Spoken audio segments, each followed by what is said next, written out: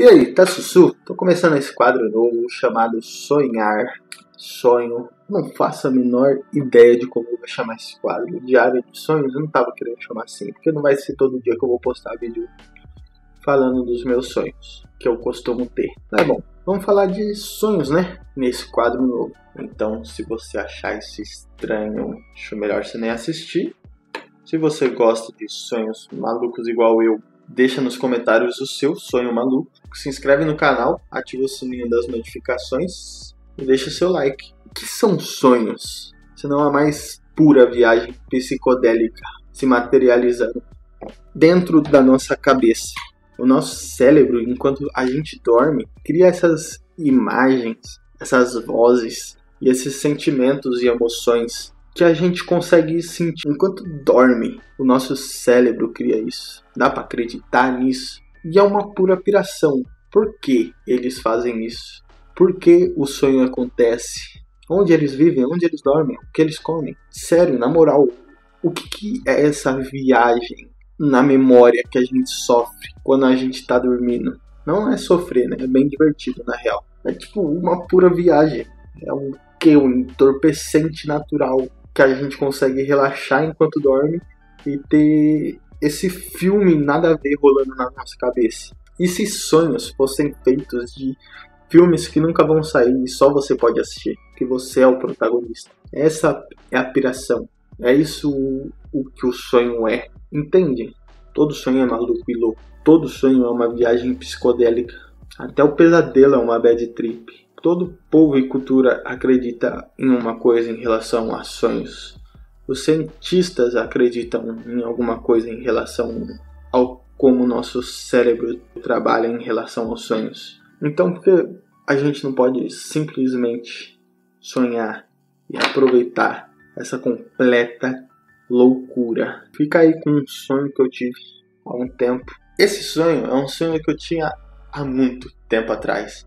Eu tive eles várias vezes, onde eu estava morando acesso nos prédios e lá tem um espaço bem grande onde tinha uma rodinha com árvores em volta, tinham três árvores em volta. E esse sonho começava bem na porta do acesso, onde eu me encontrava com a Mistério SA e ele estava querendo desvendar um mistério lá no acesso, que tinha um monstro lá. E eu ajudava eles. Eu era criança eu ajudava eles. Aí a gente ia para essa rodinha fazer uma armadilha onde cada um ficava em cima de uma árvore, porque a gente tinha esse costume de subir em árvore quando era criança, e o monstro entrava bem no meio da rodinha. E a gente ficava balançando de uma árvore para outra árvore, pelos cipós que tinham nelas. Nem tinha cipó na árvore real, mas no sonho tinha. E a gente ficava balançando, tentando tirar a máscara desse monstro. E é um sonho que eu tinha quando eu era criança, eu tive várias vezes. E eu me lembro até hoje dele. Então, esse é o sonho. Sonho com o Scooby-Doo. Sonhos. Sonhos. Dia 10 de setembro de 2020. Sonhos. Basicamente, eu tava morando em Jaú com meus pais e a minha tia morava perto. E a gente ia comer um na casa do outro. E a minha tia tava terminando de preparar a comida, eu tava indo para lá comer. E o meu primo tava com essa cara vermelha, parecendo que tinha passado coloral no cara. Aí dentro do sonho, eu me lembrei que minha tia já tinha feito isso. Só que minha tia nunca fez isso na vida real. Foi no sonho, tá ligado? Aí eu lembrava dessa foto dela junto com meu pai e ela com essa cara vermelha usando dread.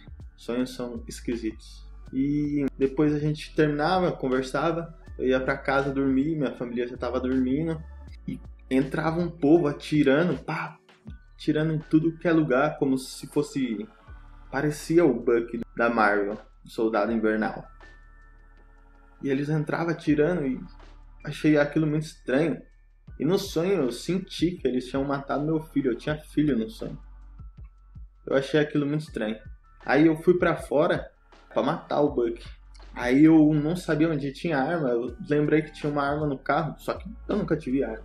Meu pai nunca teve arma. Eu entrava no carro, pegava uma pistola e tinha gente lá se escondendo. Que era o meu amigo e a minha irmã, eu acho, estavam se escondendo. Aí eu pegava a arma e ia sair para atirar neles. Aí minha irmã falava, não foi eles que matou seu filho. E tipo, eu nem tenho filho. Muito estranho. Aí eu saí pra fora de casa, pistolão. Saí pra fora de casa e eu vi o mundo inteiro coberto de um pó rosa.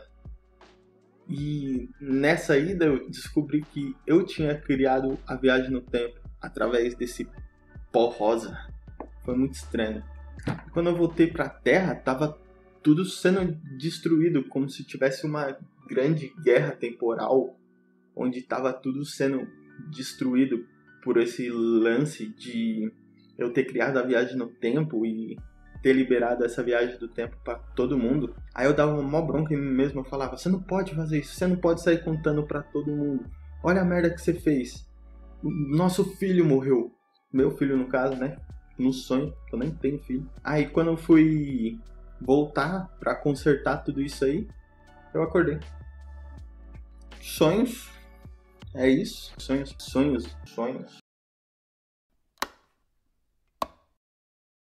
16 de setembro de 2020. Eu tive esse sonho onde eu tava vindo da comunidade com um carro me seguindo e quem tava dentro do carro era o Gordon. Isso mesmo, detetive Gordon da DC, dos quadrinhos, não do filme. Isso que é mais engraçado. E tinha um cara tocando tamborzinho na frente do carro e outro tocando tamborzão atrás do carro. Eu não entendi nada. Ele estava me seguindo, eu estava na frente do carro. Aí do nada eu entrava numa rua e tinha um gato com medo do rato. O gato estava com medo do rato. Muito engraçado. Tinha também um, um cavalo começou a me seguir Aí eu ficava com medo, ia para trás de uma Kombi que tinha naquela rua, era uma subida, e eu ia para trás da Kombi tentando me esconder, e do nada o cavalo virava a Beyoncé. E eu não entendia nada, ela começava a me seguir e eu tava com medo, eu não entendia nada. Aí a Beyoncé foi para cima de mim e eu fui para cima dela e ela trocou a cara. Ela só tava com o corpo dela, mas ela trocou a cara e a cara era do xamã. Aí era o corpo da Beyoncé e a cara do xamã. E foi muito engraçado. Aí eu fui para cima, quebrei a mão dele e cansei do sonho. Eu falei, não, cansei, chega. Aí eu comecei a subir a rua cantando a vareza do xamã. E comecei a subir umas grades e comecei a andar pelos telhados que tinha né, nos prédios dali. Sonhos são uma completa doideira. Não faz sentido. Sonhos. 27 de março de 2021. Sonhos. Sonhos. Eu tive um sonho onde eu era o Thor e eu tinha esse irmão que era o Loki. Faz sentido? Mas eu era o Thor. E nós estava andando de bike e o Loki estava puxando o grau. Aí eu saí da bike e veio um cara entregar pizza para mim e na caixa da pizza tinha um espaço que você abria sem abrir a pizza inteira. Você só abria para ver se a pizza era certa. E tipo, isso é genial. Imagina na caixa da pizza tem um lance onde você abre e tem e tá coberto com papel transparente, com plástico transparente, e você consegue ver se a sua pizza tá certa sem abrir o lacre. Isso é genial. Aí chegou uma amiga e perguntou para mim e pro Loki se a gente queria ir para casa dela. A gente foi de boa, só que chegando lá, ela era a feiticeira escarlate.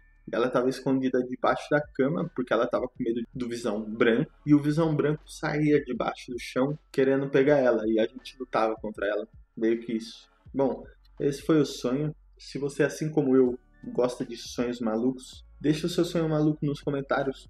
Curte o vídeo, assina o canal, ativa o sininho das notificações e até a próxima.